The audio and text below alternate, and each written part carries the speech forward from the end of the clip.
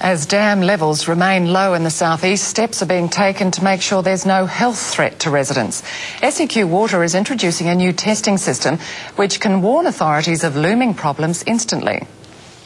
Just below the Wivenhoe Dam wall, you'd hardly know there was a drought. Crystal clear liquid gold. SEQ water staff tested manually just to make sure it is okay. What we're seeing and what we understand of the water quality as it stands at the moment in our storages is that the water quality is good. In the dam, where the level has dropped so much, 16 metres at the wall, they test with what's called a RiverSurveyor. You can uh, see all the way to the bottom, uh, travel how, tell how fast the water's moving. But all this monitoring still has to be scientifically sampled. Now they're going one step further instant results, thanks to new water quality detectors that are about to be used for the first time. It's an Australian first and has been trialled successfully in the Thames in London. It might be set up with a mobile device.